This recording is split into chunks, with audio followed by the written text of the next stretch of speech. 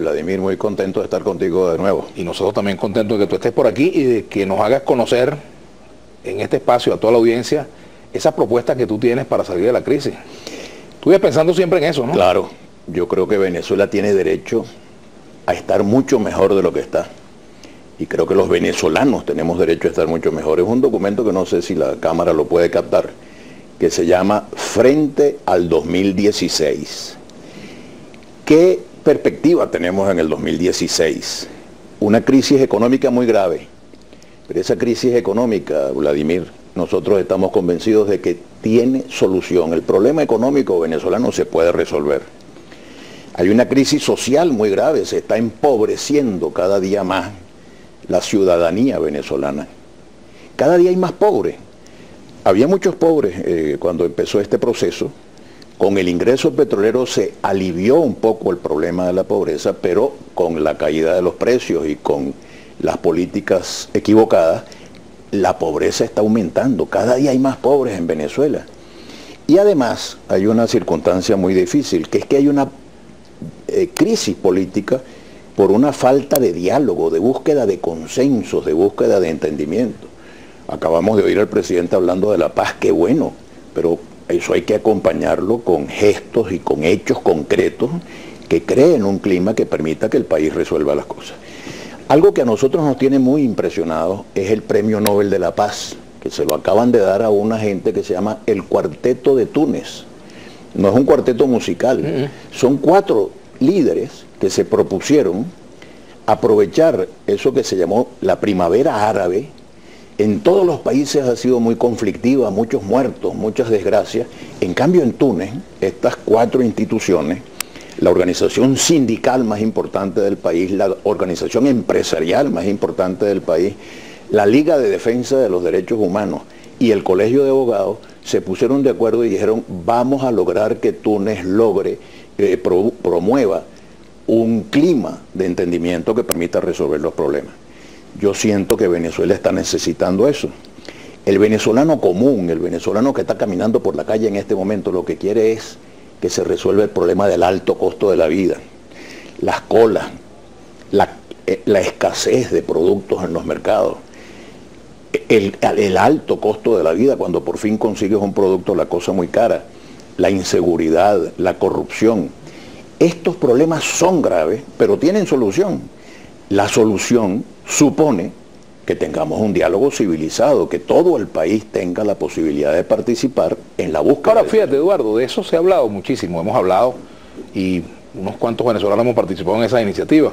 Entre ellos tú también has tenido tu participación y has dicho durante mucho tiempo que hay que dialogar, pero no se logra. Y sin embargo, fíjate tú, en este momento, ¿qué tenemos que hacer? Primero, seguir el ejemplo de estos señores que le dieron el Premio Nobel de la Paz allá en Túnez. Los tipos perseveraron a lo mejor no ha, eh, digamos, cristalizado, por no decir que es que no ha madurado todavía el clima necesario para que se produzca el diálogo. Pero el diálogo no es necesariamente entre el gobierno y los partidos de la oposición. Ese diálogo también es muy importante. El diálogo debe ser mucho más amplio. ¿Y qué factores deben influir en este diálogo? Las investigaciones de opinión pública demuestran que las instituciones que más influencia tienen en la opinión pública son la iglesia, por ejemplo, los empresarios, los trabajadores, los grupos que contribuyen a la producción nacional, las universidades, las academias, a pesar de toda la crisis que está, y desde luego el ciudadano común, organizado o, no organizado, que tiene que ser muy tomado en cuenta para buscar una solución. Yo lo que no quiero es que en Venezuela terminemos con una situación tan trágica como por ejemplo la que se está viviendo en Libia o la que se vivió en España después de 1936 porque no fueron capaces de dialogar. Después de tres años de guerra civil, de un millón de muertos y de 40 años de dictadura, los españoles por fin dialogaron y lograron grandes cosas para la nación española. Tenemos que hacer una pausa, Al retorno me gustaría saber qué debe hacerse de manera distinto, distinta a lo que se ha hecho hasta ahora para que efectivamente el diálogo en esta oportunidad que tú estás planteando se cristalice y no se quede en un documento más. Vamos a la pausa, ya venimos con Eduardo Fernández.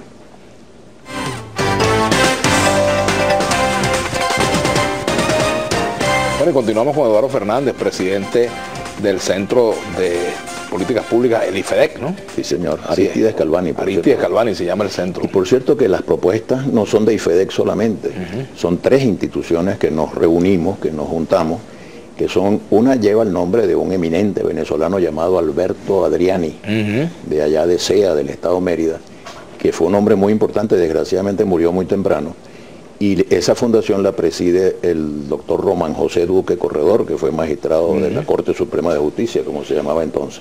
Otra es la Fundación Casa de Arturo Uslar Pietri, también otro eminente venezolano que llamó la atención sobre los desvaríos del rentismo en, nuestros tiempos.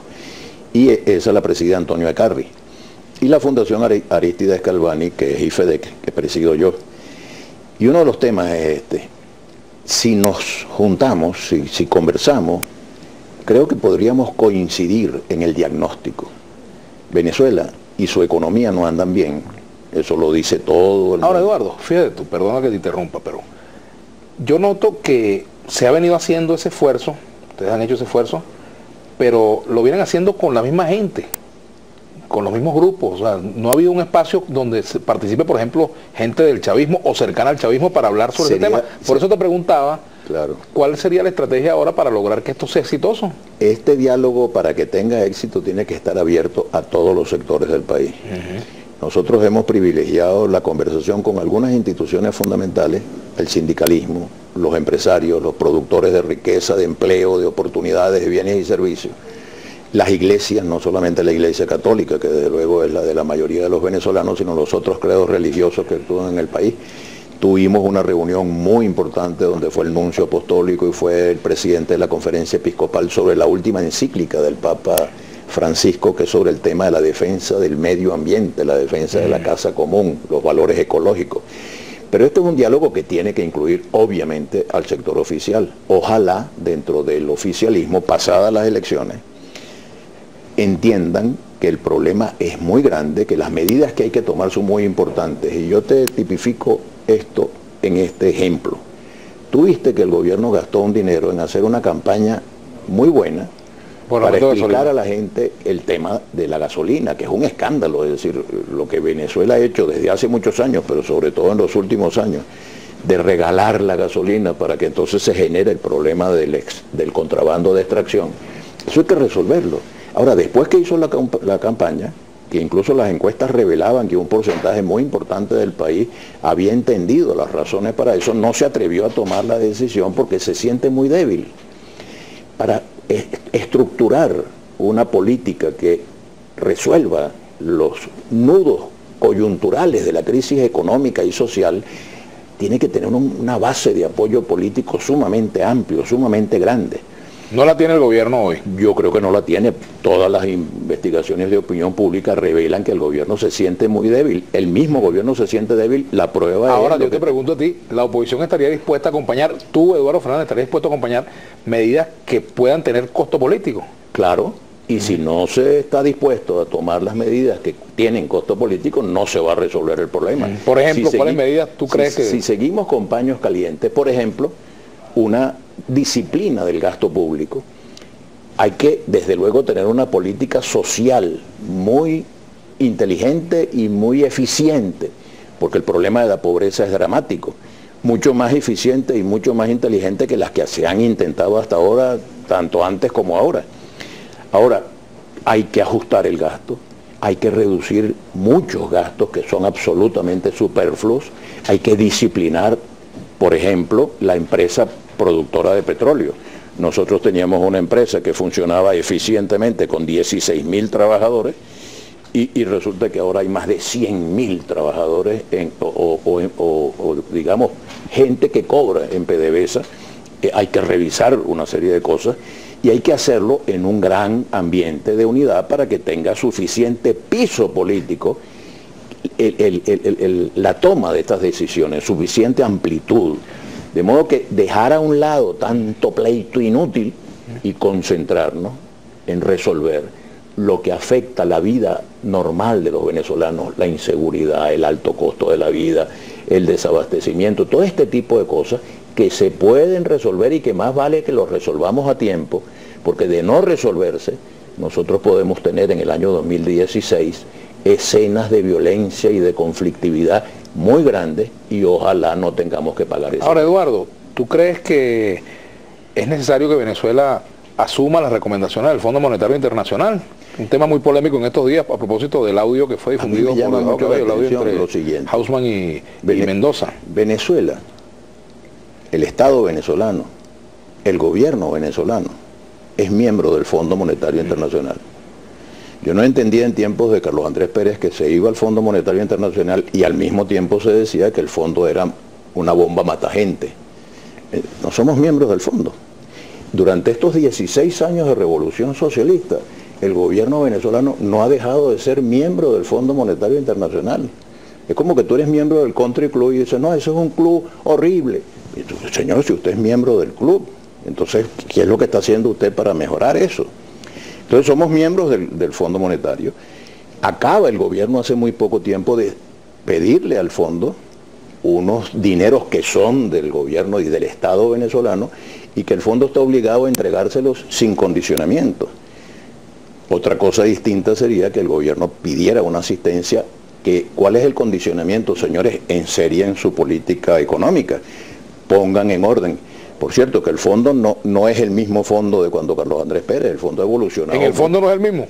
Fíjate tú, ha cambiado ah. muchísimo, tanto que la crisis griega, por ejemplo, el Fondo Monetario Internacional dijo, yo no participo en las negociaciones con los países europeos porque ustedes le están exigiendo demasiado a Grecia. Ustedes tienen que ver cómo flexibilizan la política que le están recomendando a Grecia yo siento que nosotros vamos a tener, ojalá sin condicionamientos del Fondo Monetario Internacional, que enseriar la política económica venezolana y lograr producir más, porque, Vladimir, 96% de las divisas venezolanas vienen de una sola industria, que es el petróleo.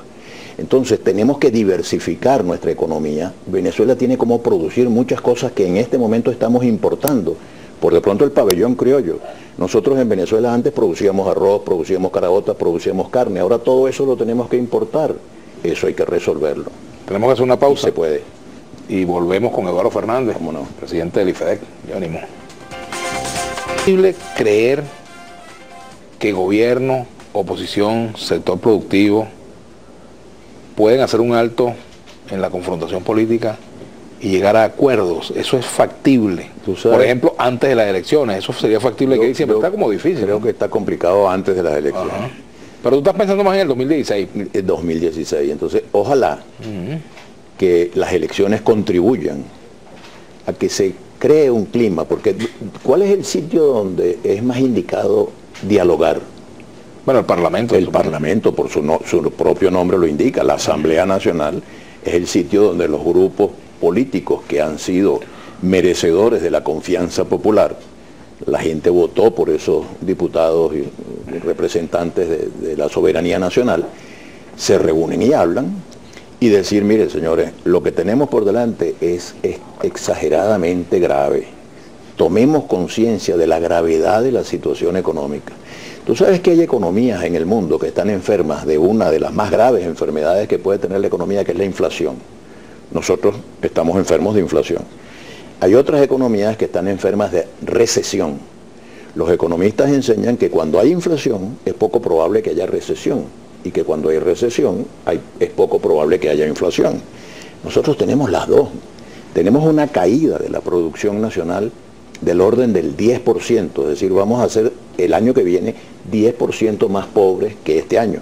Este año la cosa ha sido muy dura.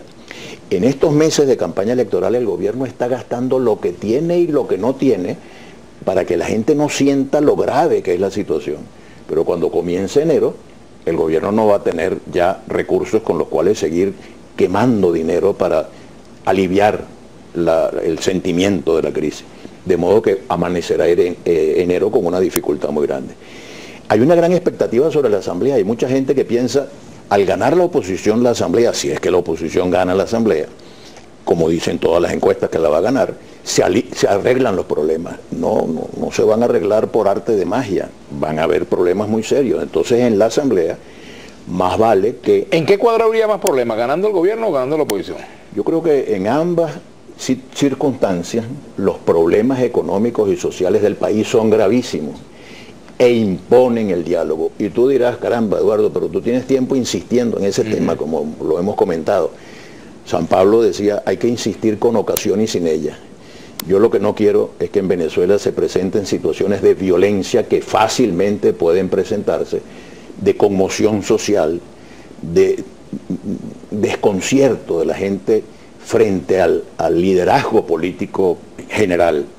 Entonces, si hacemos un programa de unidad nacional, si hacemos un programa que ataque los problemas fundamentales, el tema económico se puede resolver, el tema de la inflación y el tema de la... Ahora, Eduardo, ¿con quién en particular del gobierno o cercano al gobierno has hablado tú de este tema? Yo creo que tenemos que estar dispuestos a hablar con todos. He conversado con alguna gente a quienes no quiero mencionar para no mm. comprometer su, presente eh, para, no, para que no tenga raya como un tigre. Y preservar, y preservar su futuro.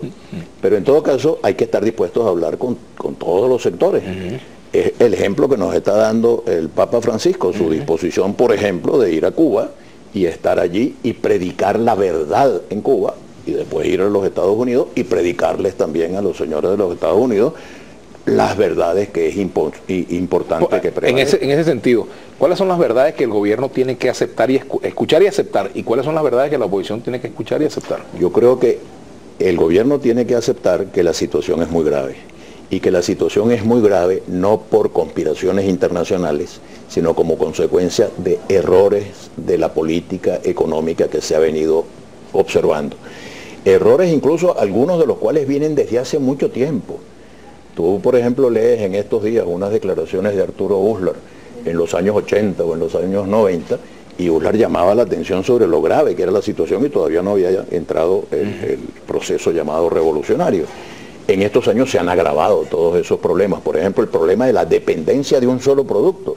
Porque fíjate qué grave, Vladimir. Dependemos de una sola cosa, que es el petróleo. Mm. Si el petróleo sube los precios en los mercados internacionales, a todos estamos muy felices. Eso pasó con Carlos Andrés Pérez en 1973-74. Era la gran Venezuela, todo el mundo muy feliz porque había mucho dinero. Bueno, lo mismo pasó en el año 2002, 2003, 2004, que el petróleo subió a más de 100 dólares, entonces había dinero para todo. Bajan los precios del petróleo y descubrimos que no ahorramos cuando teníamos las vacas gordas y que no hicimos lo necesario para diversificar la economía. Tenemos que hacer una pausa. Por cierto, ya que hablaste del primer gobierno Carlos Andrés Pérez, quiero aprovechar la ocasión para extender nuestras condolencias a la familia de Gumercindo Rodríguez, ah, particularmente a Francisco Rodríguez, por el lamentable fallecimiento Me hago solidario de tu Gumercindo Rodríguez, pues, un venezolano, bueno, que estuvo muy activo en la política mucho, mucho, durante largos años. Bueno, vamos a la pausa, ya venimos con Eduardo Fernández. Siempre con su retórica. Hay, hoy las misiones que equilibran pobreza existen, casa, alimentación, educación. Eh, también por aquí te dicen... Por cierto, esas misiones hay que mejorarlas y, perfeccionarlas y hacerlas más eficientes.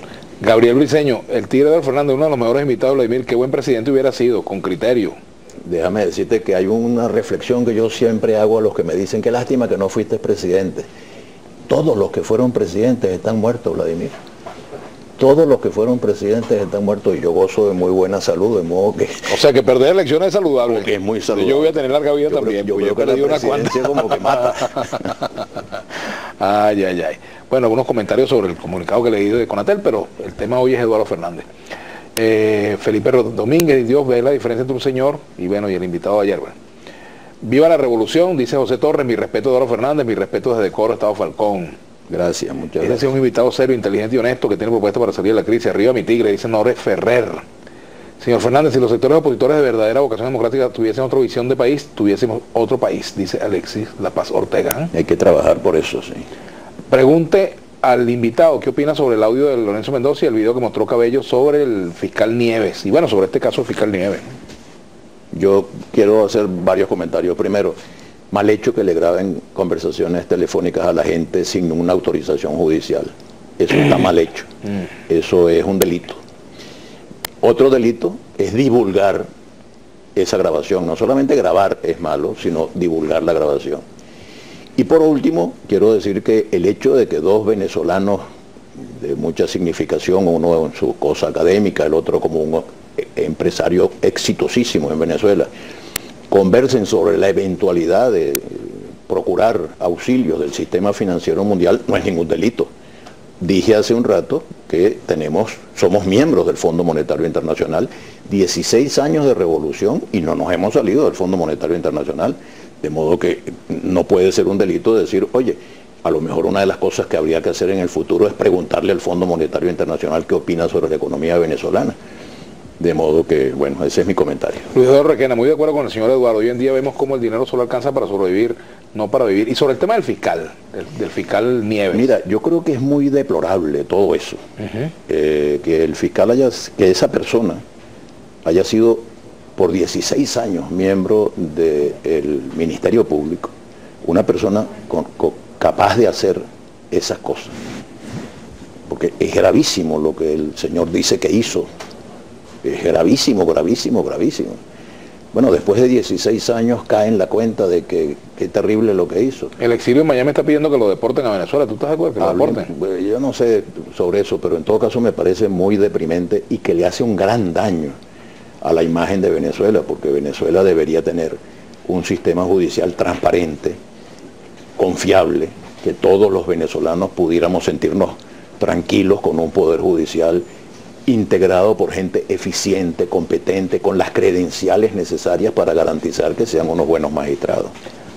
¿Por qué no habla de la responsabilidad del sector empresarial en la crisis de desabastecimiento? Recuerde Chile, dice Guillermo Moreno, y por aquí te dice David Orlando Rincón. ¿Desde cuándo ese tigre, ese tigre no come sardinas? ¿Será que se acuerda de Leida Josefina? y por aquí dice Luis Navarro Díaz. se le cayó la cédula, se una persona, yo cuando leí a Josefina yo estaba niño, yo no votaba. Ese era Luis Herrera que era candidato. Pregúntale a Eduardo cómo era la situación en 1998, porque él fue a comer arroz solo con Marisabel en un rancho de Mamera.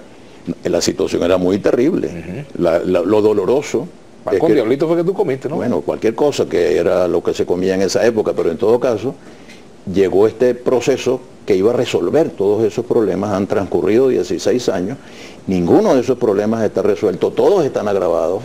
Entonces yo invito, vamos a sentarnos a ver por qué los problemas siguen.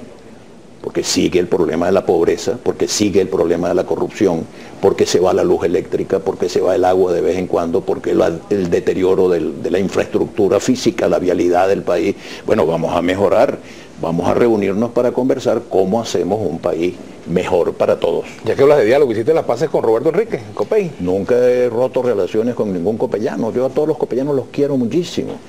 Y, y, lo que me interesa es que el partido cada día sea más grande. Yo nunca he dejado de ser y no dejaré de ser jamás un hombre de formación humanista cristiana.